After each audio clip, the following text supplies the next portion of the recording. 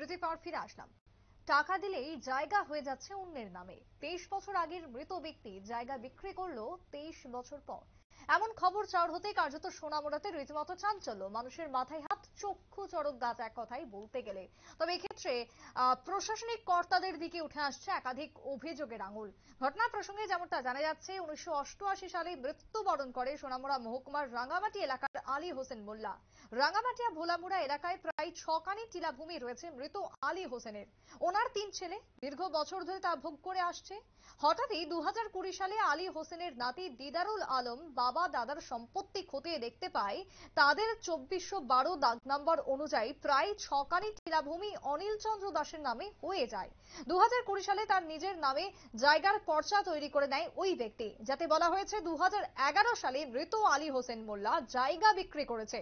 কিন্তু সেক্ষেত্রে প্রশ্ন উঠছে, উনিশশো অষ্টআশি সালে যে ব্যক্তি মৃত্যু, যার মৃত্যু হয়েছে, তিনি কীভাবে দু হাজার এগারো সালে তার জায়গা বিক্রি করল? ইতিমধ্যে প্রশ্ন তৈরি হয়েছে, তবে এক্ষেত্রে অভিযোগ উঠে আসছে যে টাকা দিলে নাকি ডিসি অফিস বা তহসিল বা মহকুমা শাসক অফিসে টাকার বিনিময়ে এই ধরনের কাণ্ড কারখানা চলছে।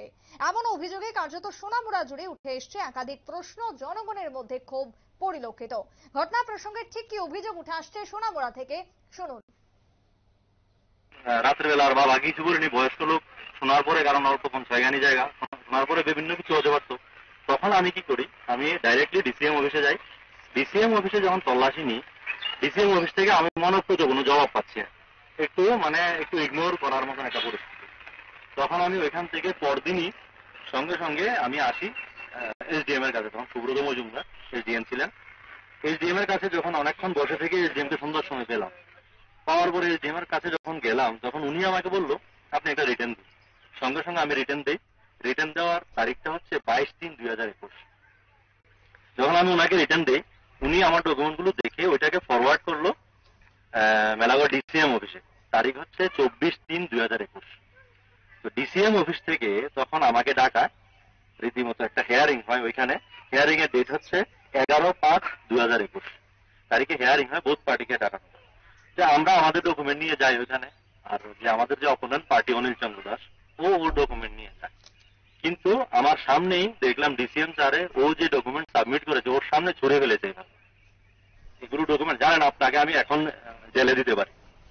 এই বলে ওনাকে বের করে দেয়। তখন ডিসিএম একটা রিপোর্ট দেয় আমার যে রিপোর্টটা আমাকে না মানে এসডিএম অফিসে, ওই ডিসিএম কিন্তু তখন সাইট ভেরিফিকেশন করে হেয়ারিং করে, করার পরে একটা ডিসিশন নেয়, একটা রিপোর্ট দেয়।